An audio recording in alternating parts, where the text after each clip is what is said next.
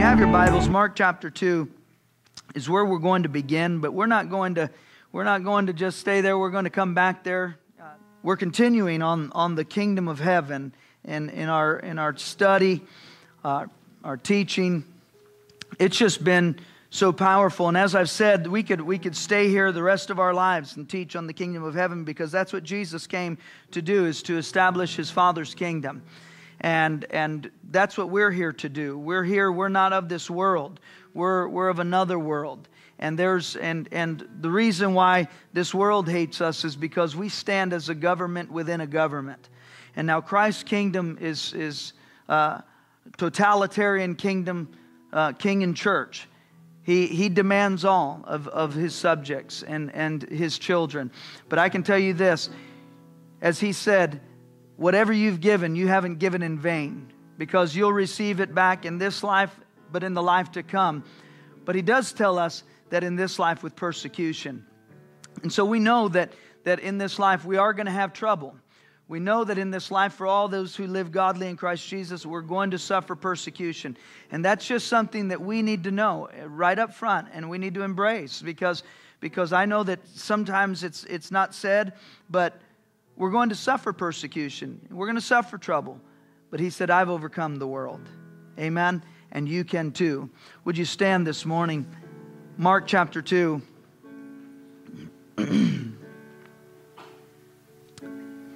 Starting with verse 1, it says, And again he entered in, into Capernaum after some days, and it was and it was noised that he was in the house. Man, I love that. In other words, everybody knew he was in the house. Amen. Can I tell you this? He's in the house today. It says, And straightway many were gathered together, and so much that there was no room to receive them, no, not so much as about the door. And he preached the word unto them. And they and they come unto him bringing one sick of the palsy, which was borne of four. And when they could not come nigh unto him for the press, they uncovered the roof where he was. And when they had broken it up, they let down the bed wherein the sick of the palsy lay. And I want you to pay attention to this next part. When Jesus saw their faith, he said unto the sick of palsy, Son, thy sins be forgiven thee. We were speaking last week just along these lines and how the rich young ruler had come to, to Christ and he had, in some sense, laid out his credentials and said, You know, I've done all of these things and I've kept all the, the commands and I've done all of this. And he says, but, but what else do I have to do? What else do I have to do? And Jesus told him, He said, Go and sell everything that you have Give it to the poor. Take up your cross and follow me. You see, he saw something in Christ that was real. There was a reality in Christ that wasn't just something, it wasn't just what he said, it was who he was. Can I tell you, it's the same thing for those of us that are believers here today. It's not so much what we say, it is who we are. You see, if we live one thing and say another, then we have ruined our testimony, and no one will, will even give us ear because they do not see the fruits of God, of Christ, living in us. We've been going through this through a study on Wednesday, and this this past Wednesday we just started the study. And I encourage you, if if you get a chance and and, and you're able to, if you're not working, um, come on Wednesday, Wednesdays. We, we go through our, our, studies, and this, this past Wednesday, we began a study about, about you know, going back to the basics, who the center is, and it's Christ, and it's all, it has all to do with God, and it's, and it's Christ focus instead of self centeredness. But the problem, the problems come when we become self centered. But when we begin to look to Jesus Christ and we realize that He is everything to us and that He is all, then we can overcome anything that, that this life can throw our way. We can overcome every situation and we keep our eyes on Jesus Christ because He is our focus. Amen.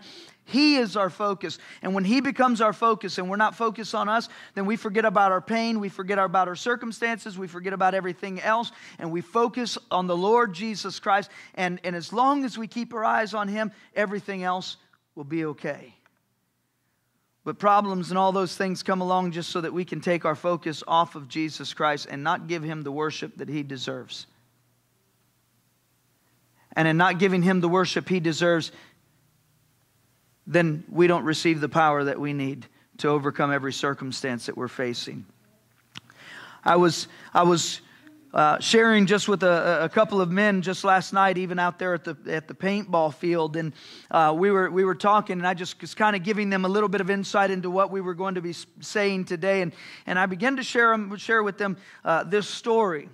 Um, this has been on, uh, again, been on my heart. God is God is, is, is doing a work in, in our lives. He's doing a work in this church, and He will do a work in your life, a transformative work, if you will allow Him.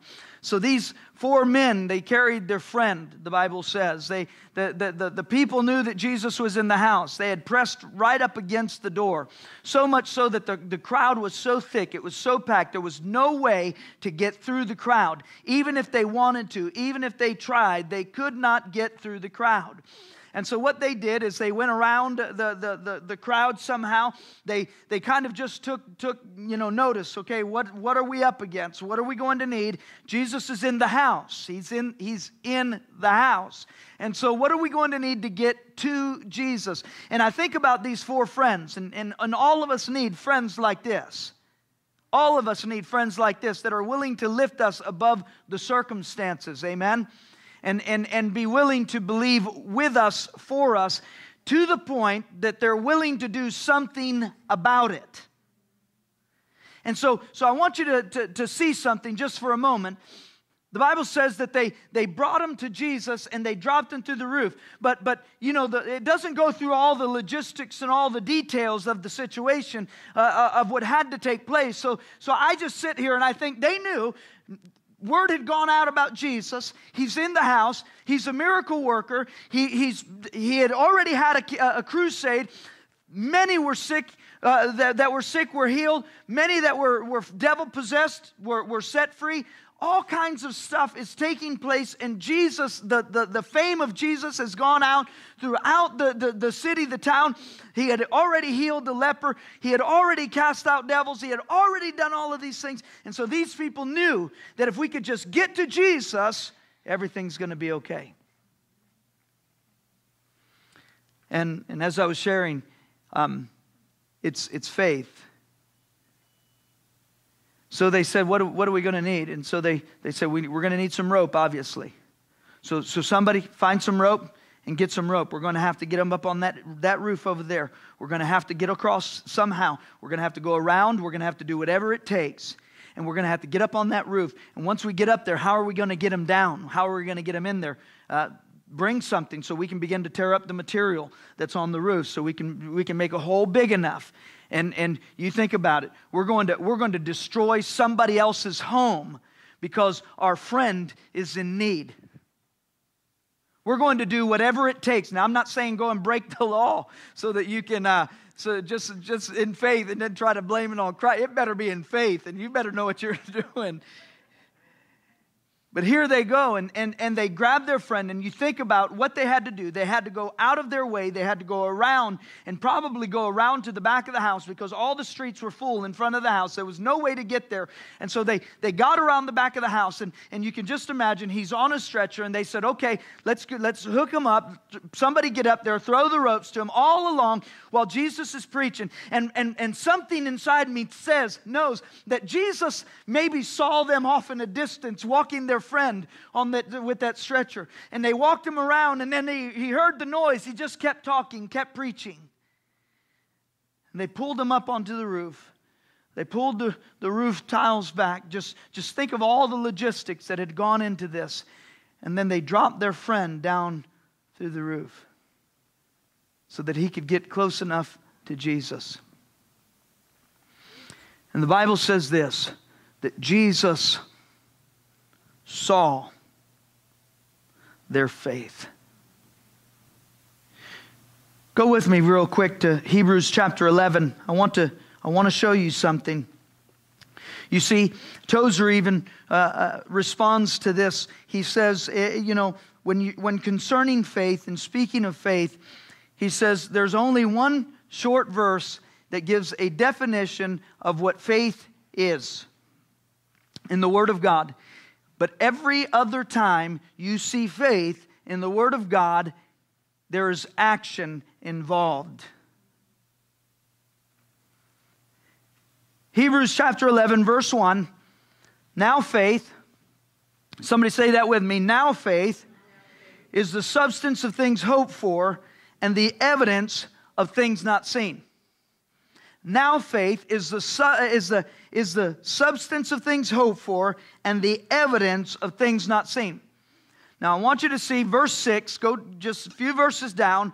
But without faith, it's impossible to please him, for the, he that comes to God must believe that he is, and that he is a rewarder of those who diligently seek him. He's a rewarder of those who diligently seek him. So, even here in, in, in the, the, the definition of, of faith, there is an expression that you that come to faith, we that come to faith, we have to first of all believe that God is. And that we have to believe that He is a rewarder of those who diligently seek Him. Now, now we say this, we say, oh yeah, I believe that. And, and I believe what you said, and, and, but we have to come to God in faith. But do you see it there? If you're not willing to seek God, do you really have faith? Well, I just really don't have time to pray. Well, then you don't have faith. Because faith is the action. Faith is, is not merely a definition of words and saying, I believe, I believe, I believe, I believe, but faith requires action. Faith seizes upon something and then figures out what do I need to do to obtain that. Faith requires action. Before I go any further and get ahead of myself, you can even go to verse 32 in, in Hebrews. I, I want to do this a little bit systematically so we, can, so we can lay the foundation and get into the rest of what we're going to say here today. But here in verse 32, the Bible talks about, because uh, chapter 11 in the book of Hebrews, it's, it's a chapter of faith, it's, it's the hall of faith. These people, if, if, you, if you think about a museum, and, and if there was a museum for the Hall of Faith, these, this, this is it. And all the stories, and you would see all of these sitting in the cases that left and right, and you would see all of this stuff uh, in, in a museum. So here's, here's what it is He says, What shall I say more? For the time would, would, would fail me to tell of Gideon, of Barak, of Samson, of Jephthah, of David, of Samuel, and of the prophets, who through faith subdued nations, subdued kingdoms, wrought righteousness, obtained promises, stopped the mouths of lion, uh, lions, quenched the violence of fire, escaped the edge of the sword. Out of weakness were made strong, waxed valiant in, fly, in fight, turned to flight the armies of the aliens. Women in faith, think about this, every step of the way, received their dead uh, raised to life again. In faith, others were tortured, not accepting deliverance. In faith, that they might obtain a better resurrection. In faith, and others had trial of cruel mocking and scourgings, yea, moreover, of bonds and imprisonment. In faith, they were stoned, they were sawn asunder, they were tempted, they were, they were slain with the sword, they were they wandered about in sheepskins and goatskins, being destitute in faith, afflicted, tormented, of whom the world was not worthy. They wandered in deserts and mountains and in dens and caves of the earth. And all these, having obtained a good report through faith, received not the promise. For God having promised something better for us, that they without us they should not be made perfect. Now, here's, here's, here's the reason I wanted to, to read this. We, our faith is built upon the faith of others. And our faith is only perfected by those that come after us. Those that we minister to and those whom we make disciples for the Lord Jesus Christ. You see, the Bible said that they did all of this stuff, but without you and me doing our part, their faith was in vain. And their works and everything they did was in vain. This is, a, this is such an important thing for you and I to understand. We have to have faith that, that not only changes our circumstances, but in, encourage, encourages and inspires the next generation. What I believe has happened to this generation that is here is, is just like Joshua didn't have his own Joshua, his own mentee, and failed to pass it on. Not like Moses. See, Moses had he had a Joshua that he was able to pass it on, but Joshua didn't take that and pass it on to the next generation. And see, and so this is something there, for you and I to understand. There is someone that is looking up to you and to me. There is always someone that is looking up to you and to me. And, and our faith is going to shape who they are and what they become in Christ. You see, Christ, they knew there was something about Christ, and th- these four men, they knew that if we could just get them, get this young man, get, get our friend to Christ, everything's going to change. Now, before we go any further, I'm still laying the foundation. Just I, James, turn with me to James. I want you to see some things.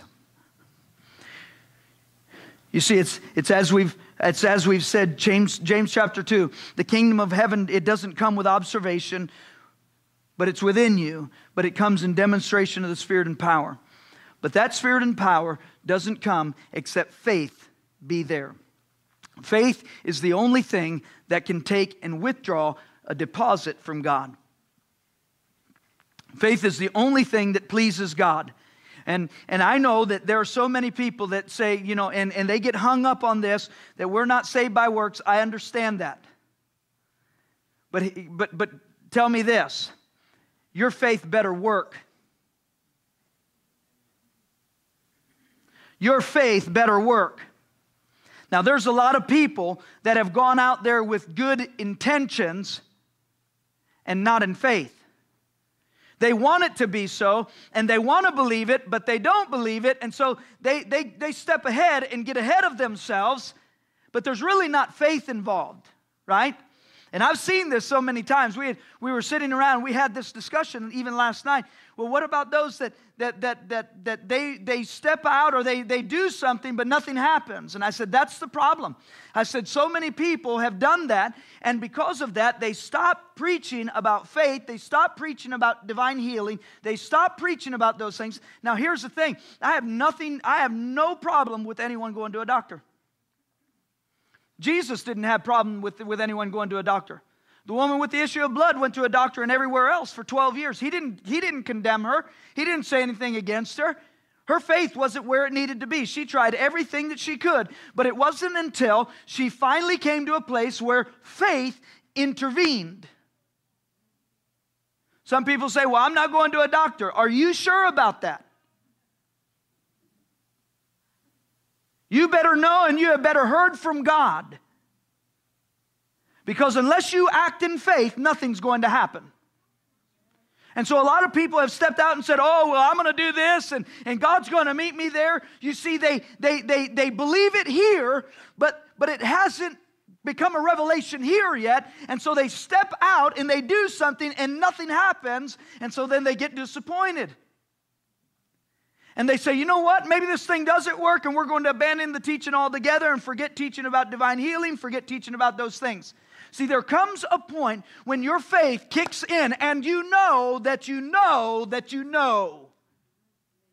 And when that moment comes, then you can lay hands on the sick. When that moment comes, then you can speak those things that are not. But don't go getting ahead because, oh, well, I, I think I believe. No, you better know you believe. This is what James says in James chapter 2. James chapter 2, starting with verse 14, he says, What does it profit, my brethren, though a man say he has faith and has not works? And then he asks this question Can faith save him?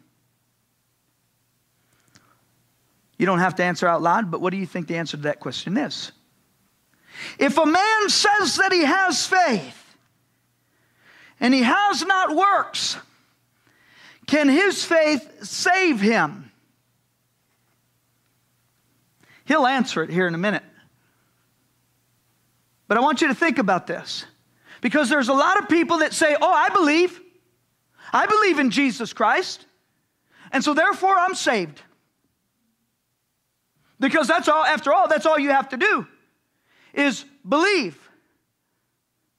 And, and, and then you see their life, and there are no, there's nothing changed about their life. Their, their faith hasn't changed them, and the faith is not working. And then the question bears in mind what James brings up right here at this moment can their faith save them? If they say they believe, but there is no works there, can their faith save them? You are, you are saved by grace through faith. It is not by works, lest any man should boast, but it is the gift of God. And this is, this is what had happened for so many years in the church. This is what had happened is people would come and bring people to they would preach a message they said just just pray this little prayer with us and you're saved and they never told them what comes next. Your faith has to come alive and it has to begin to, to prove, and there has to be fruit of salvation. And so here's the thing James, James goes about it. He says, If a brother or sister be naked and destitute of daily food, and one say unto him, Depart in peace, be ye warned and warmed and filled, notwithstanding, you gave them not those things which are needful to the body, what does it profit? Even so, faith, if it has not works, is dead being alone. So here's, here's the thing if your faith does not have works, your faith is dead. And dead faith is no faith at all. Well, I believe in the Lord Jesus Christ. Oh, yeah? Oh, yeah? Well, well your, your lifestyle isn't really proven. Well, you can't judge me.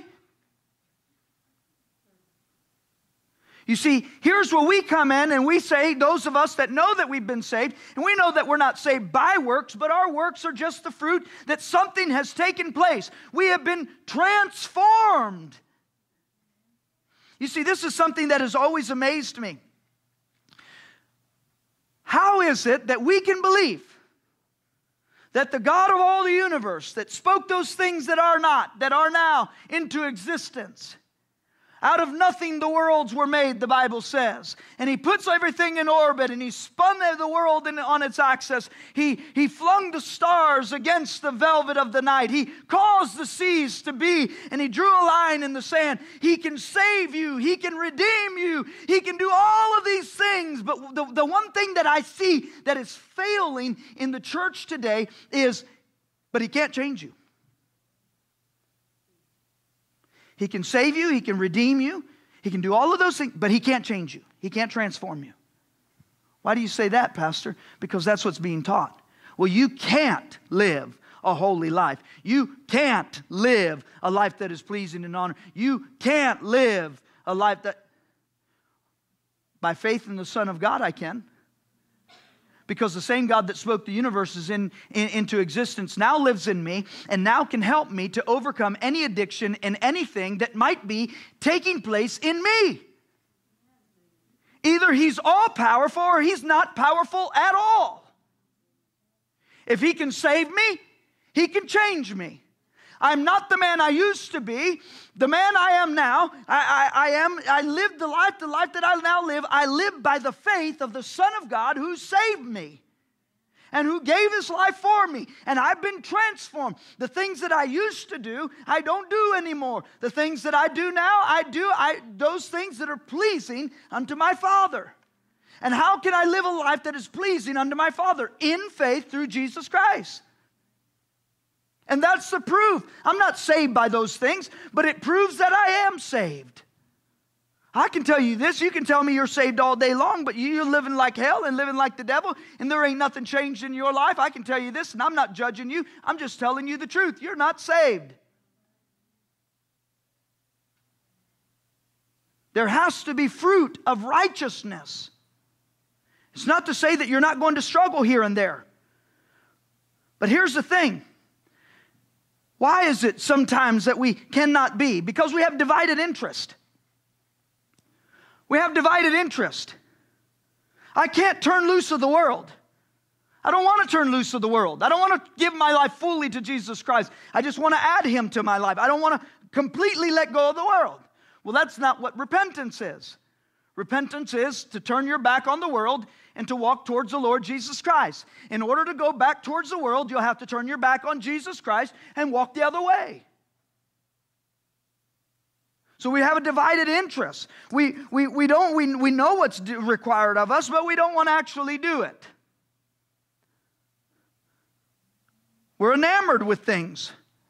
We're, we become covetous of things of this life and things in, in, in, in, others. And, and we become envious of others and we see somebody excelling and exceeding and, and, and, and above us. And we're just like, well, you know what? I, I don't know if this whole faith thing is for me. By faith, we live a holy life. James goes on because I, I, I want to get back to the. He says, even so, by faith, even so, faith, if it has not works, it is dead being alone. I'm not going to read it all, verse 20.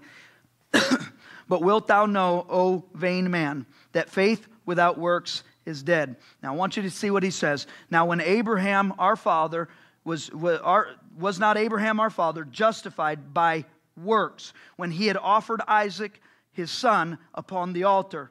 See thou how faith wrought with his works and by his works was faith made perfect. And the scripture was fulfilled, which saith, Abraham believed God, and it was imputed unto him for righteousness, and he was called the friend of God. Skip down to verse 25. Likewise, also, was not Rahab the harlot justified by works. When she had received the, the messengers and had sent them away the, the, out another way, for as the body without the spirit is dead, so faith without works is also. Now, we can go right back now. Oh, hold on. Verse chapter 5. Here's the thing. Our faith without works is dead. So this is what we're saying is there it, our faith requires an action. See, Abraham, when God spoke to him, he could have easily said, Well, I, well, I heard God say sacrifice, you know, Abraham, uh, uh, uh, oh, Isaac up there. And, and he could have said, You know what, God, I believe you.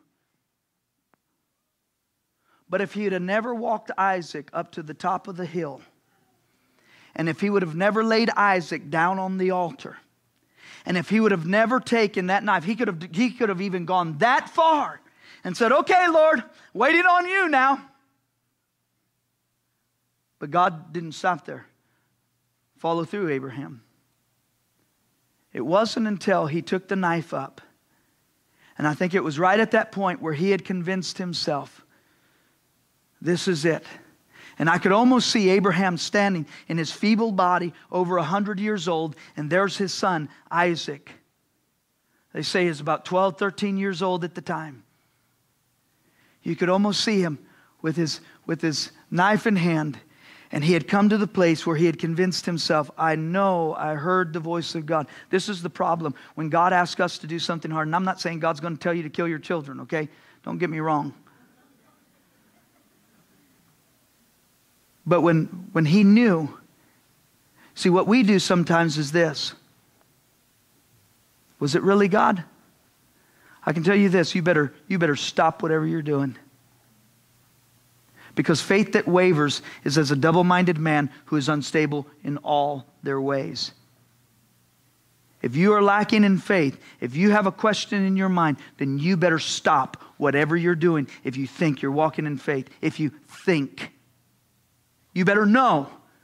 Abraham had got to the point where he was convinced, absolutely. He knew that he knew that he knew he had heard God, and the Bible says he knew that God was able to raise him back from the dead because God had already said, I promised to make him a mighty nation out of him, and that nations would even come out of him. And, and, and I, through Isaac, I'm going to bless you, and you are going to be a mighty, mighty, mighty people, and all the people of the earth and all the people of the world will be blessed because of Isaac.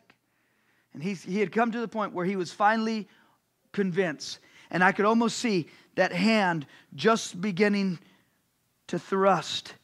And the angel of the Lord says, Stop! For God has provided a sacrifice.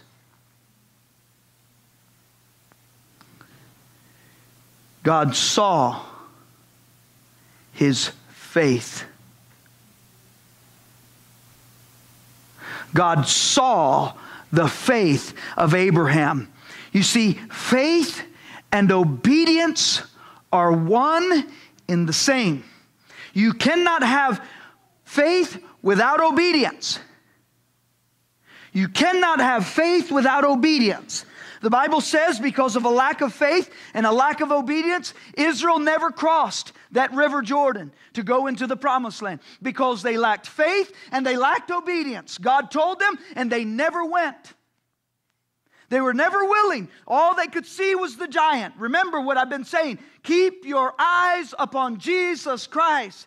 God never told those people, He never said, go in and see whether you can take it. He only said, look to see if it's not everything that I told you it was going to be.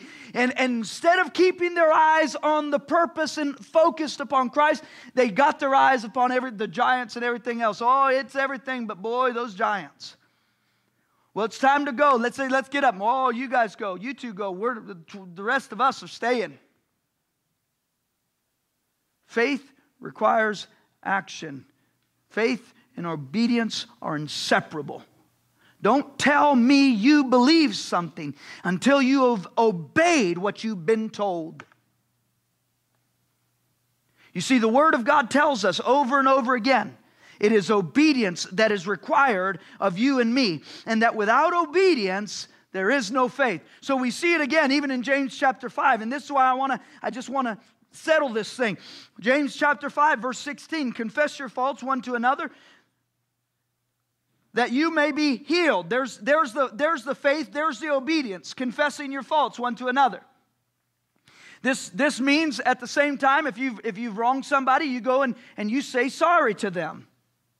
You tell them, I'm sorry. That's a confession of faith. Now, if you're not able to do that, then, then you go and you confide with someone that's going to pray with you, not someone that's going to gossip, but someone that's going to pray with you and, and, and not condemn you and not judge you, but somebody that's going to pray with you. And you go to them and you confess your fault to them, and, and the Bible says, so that you can be healed, so that that thing can be released, so you can get it out of you and you can receive ministering so that you can be healed. But listen what it says the effectual, fervent prayer of a righteous man avails much. Can I tell you this? You are not going to pray fervently unless you believe. What do we do? What do we do? Think about this. Think about this. Well, I've got this issue and I've got this problem coming up and I've got this thing coming up and you know, Pastor, uh, I, I, I've, I've, my, my, my uncle's sick, my aunt's sick, whatever, and, and, and I prayed for them. Oh, you have? How have you prayed for them? Well, I, I just said, Jesus, heal them, Jesus. Have you really prayed for them? Because I can tell you this if you really believe that God could heal him, heal that person, deliver you out of your circumstances, meet your every need, you would pray fervently. A fervent prayer is an action of faith. Fervent prayer is, is faith in action. It is a moving faith. It is a faith that says, I believe and I'm not leaving until I get an answer. Fervent prayer is this persistent widow that goes day after day after day and says, I don't care if you don't fear God, judge, or if you don't fear man, but I'm not going to let you go until I get an answer out of you. And not the answer you want to give me, but the answer I came for. Fervent prayer. God, I'm here. And as long as it takes, I'm going to be here until you answer me, until I know that the heavens have been rent and I've heard the voice of God and you have answered me. You say, you say, prove it. Next verse. Elijah was a man like you, me, subject to like passions as we are.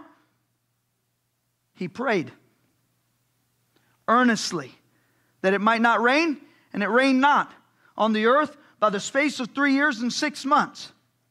Verse 18, and he prayed again, and the heaven gave rain, and the earth brought forth her fruit. Elijah was a man like you, like me. See, see, we get these, we get this idea, and, and, and don't get me wrong, I've done the same thing.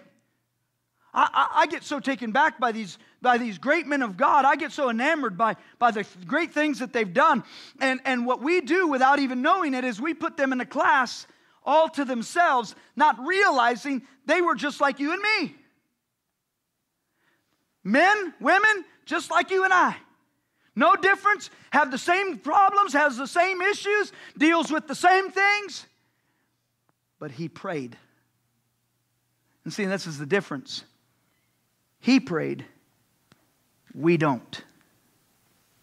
And it's not until we get to the point where we, we understand and we believe Christ and we know who Christ is and we are, we are determined, we know that He is not merely just a story anymore, a figment of my imagination, but I know that I know that I know that He is King of all the earth. I know that I know that I know that He is the Savior, He is the healer, He is what He says He is. When He said, I am that I am, He is that He is. And what he says, he means. And you don't have to try to make excuses for it. You don't have to try to pretty it up. You don't have to cover it. You don't have to do any of that. You just have to believe it.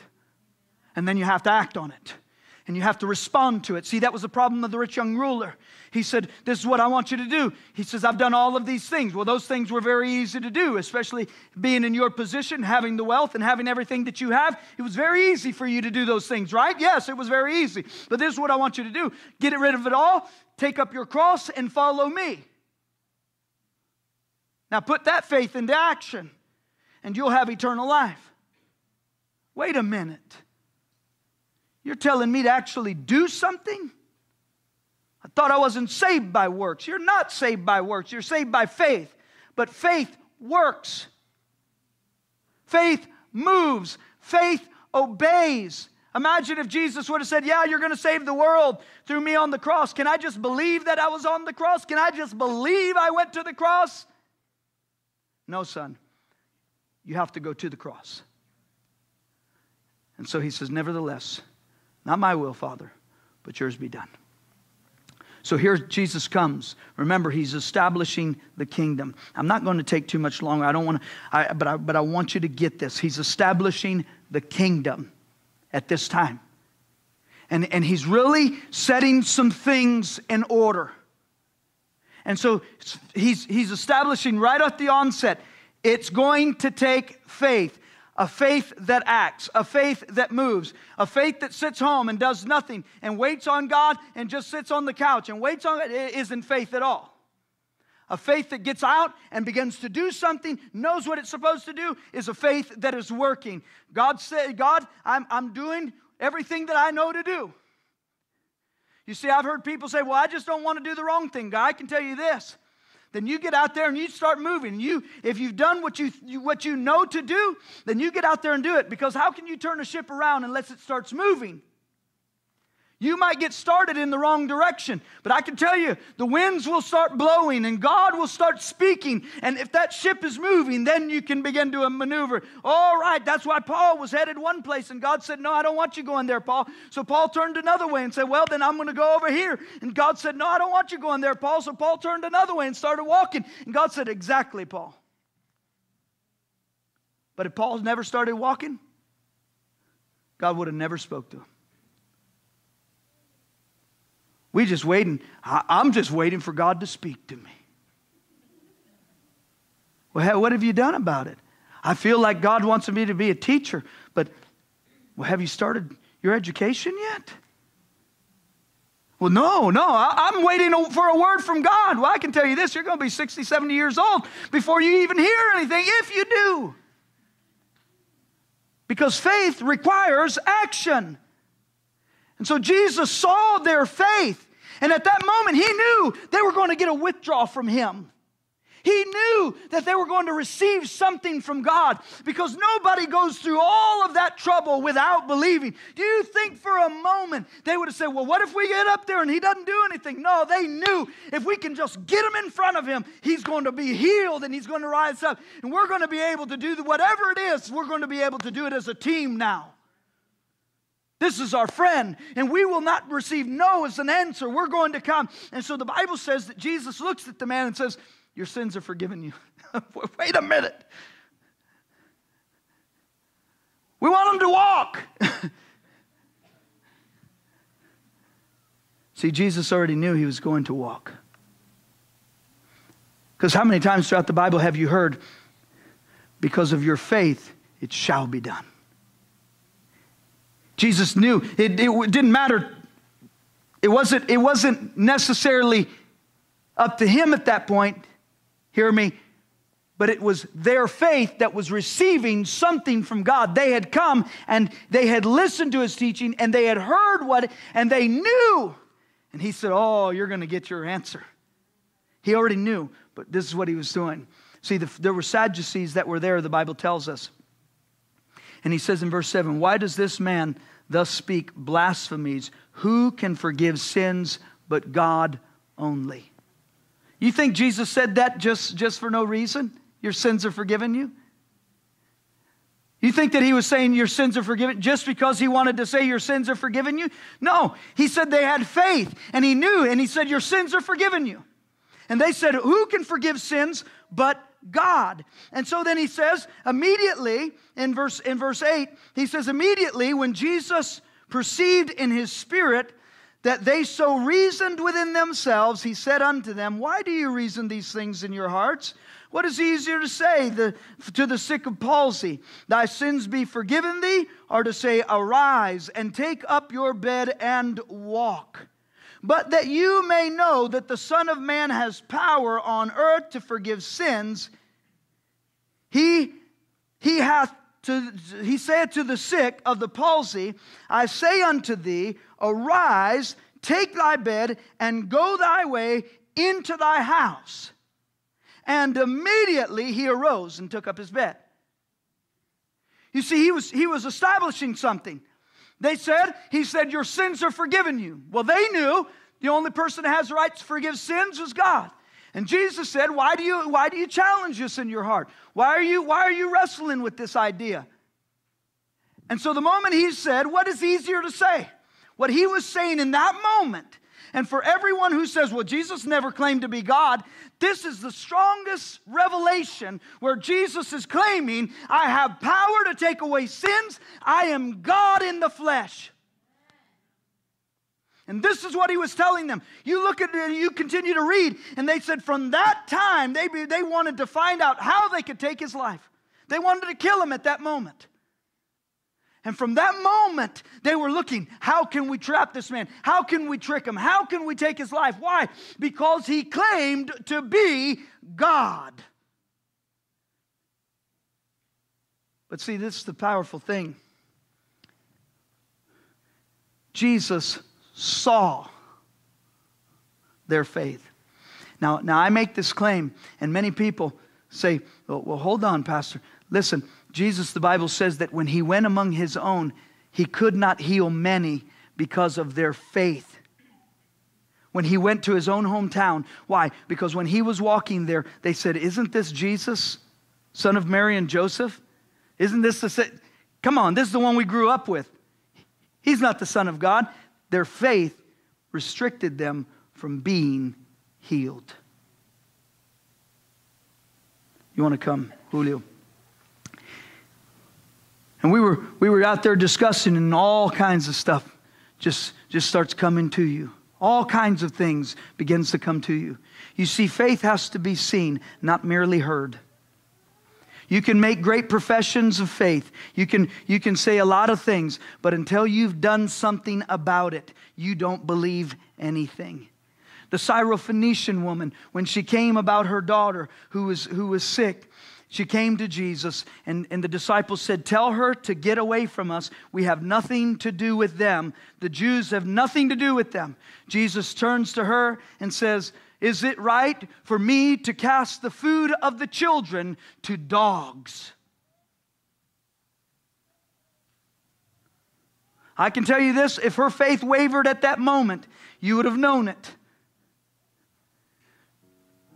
She stepped back and she said, yeah, but even dogs eat the crumbs that fall from the master's table. you can call me a dog, but I'm not leaving until I've come for what I've till I get what I've come for. And Jesus saw her faith. You see, we could say, "Oh, I believe Jesus can heal." Well, what have you done about it? Some people say, "Oh, I believe Jesus can pull me out of this financial financial situation I'm in. Well, what have you done about it and, in starting now? Well, I'm just sitting on the couch waiting. Have you got up and filled out an application and got a job? Because it isn't faith until you start acting upon it.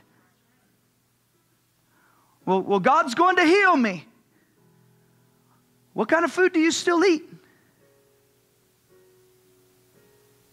Well, I, I, God's to. Faith takes action.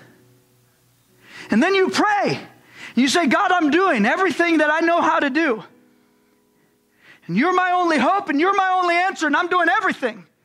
And here I stand. And I come before you in, in, in, in fervent prayer. I'm coming before you, and I know, I know, I know and God sees your faith. Why? Because He's seen your action. You're doing something about it. And He says, Now, now I can bless you. Now I can give you above and beyond what you could ask or think. Now, why? Because your faith is moving. And faith is the only thing that moves God. Faith is the only thing that can take a withdrawal from God. We sit there and we think, man, and what was He doing? See, sometimes God builds up our faith through different circumstances in different situations. And your faith may be at a, at, at, at a low level right now. And see, a lot of people have taken it. Jesus said, if you had the faith of a mustard seed, he said, you could tell this mountain to move and it would move. But you go back and you think about the faith of a mustard seed. What does a mustard seed do? What did Jesus say about the mustard seed in another parable? He says, the kingdom of heaven is as a mustard seed. He said, you put it in the ground and what happens? A tree comes up. And when that tree comes up, the seeds fall off. And before long, other trees come up. And before long, those seeds fall off. And he says, and that seed now that, that was just barely fit in your hand, he says, now overtakes the whole field all by itself. Our faith has to increase little by little. And so, so we look at this and we even see Jairus' daughter who was sick and Jairus is coming and he says to, to, to, Christ, and, and here's the thing this is what God was doing for, for Jairus. He didn't even realize what he was doing because he knew the news that was coming. And so all of a sudden he's coming along the way, and there's a woman with an issue of blood for 12 years. And we could, we could go on weeks and weeks over these things. But here's the thing a woman who has had an issue of blood for 12 years, and all of a sudden she comes to a place where she's tried everything, she's went to every doctor, she's her faith has been in action for 12 years years. She's tried everything. And she says, Here we are. Now, if I can just touch the hem of his garments, because she's already heard, she says, Then, then I'll be healed. And she works her way through the crowd, touches the hem of his garment, lets it go. And Jesus stops and says, Wait a second, somebody touched me. And the disciples said, What do you mean? Everybody's touching you. He said, No, somebody touched me in faith. Because once that faith was there, she drew something out of me. And so Jairus was there.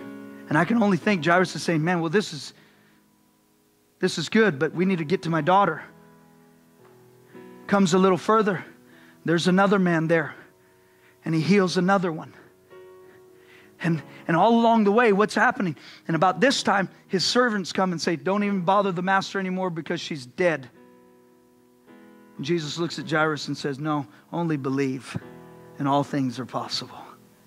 You've already seen the woman healed with the issue of blood. You've seen this man. He, same thing's going to happen when I get there. You see, he was building his faith all along the way because he wasn't ready at that moment. But by the time he had got to that place, he was ready to believe Jesus for anything. And some of us, we get discouraged because our faith is not where it's, where it's supposed to be. And we get faith and we think, okay, now I'm ready to jump. And it's like, and it's like God is saying, I'm, I'm building your faith. I'm building your faith.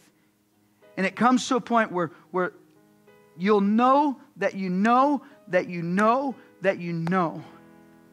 What do you mean, Pastor? What do you mean? And why am I, why am I giving all this information today? Do you remember blind Bartimaeus, who would not be quieted by the crowd that was around him? He heard some commotion, and I can just imagine as he's sitting there and he says, he says, What's going on? What's going on? And they said, Jesus is coming. Jesus, Son of David, have mercy on me. Shh.